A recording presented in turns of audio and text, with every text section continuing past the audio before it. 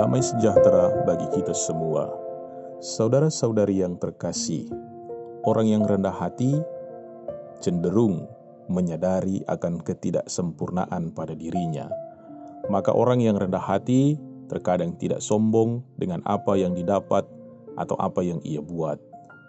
Pada masa prapaskah ini kita pun perlu rendah hati di hadapan Tuhan dan mengakui segala dosa perbuatan kita.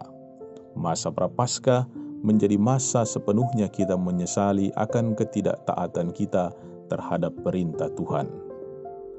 Rendah hati nampak dalam bacaan kitab suci hari ini, di mana jika kita merendahkan diri berarti kita mencari Tuhan dengan sungguh-sungguh dan ingin mengenalnya.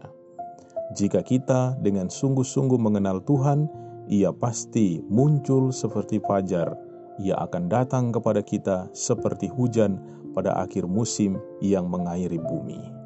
Tuhan senantiasa setia kepada orang yang dengan sungguh-sungguh rendah hati dan menyerahkan diri kepada kehendaknya. Bacaan Injil hari ini mengisahkan doa seorang Farisi dan pemungut cukai. Orang Farisi menganggap bahwa dirinya sudah menjadi orang benar, orang yang tidak melakukan dosa, melainkan orang yang saleh dan selalu melakukan perintah Tuhan.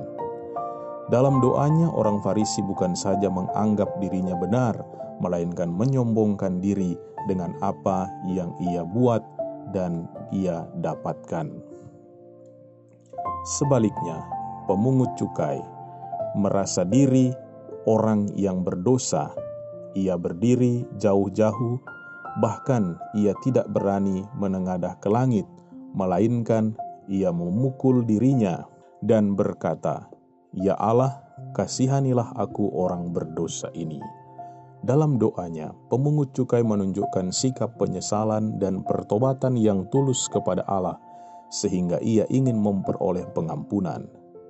Dalam menjalani kehidupan ini, kita sering seperti orang Farisi yang menganggap diri sudah paling benar dan paling suci dari orang lain, sehingga kita sering kali menganggap rendah, bahkan menghakimi orang lain.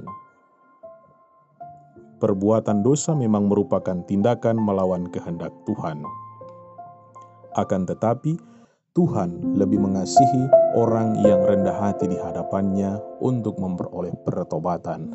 Orang yang rendah hati menyadari kesalahan dan keterbatasan dalam dirinya.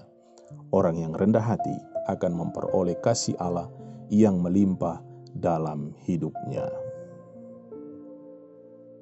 Ya Tuhan, tuntunlah kami dalam terang Roh Kudus agar menjadi orang-orang yang rendah hati dan benar. Amin.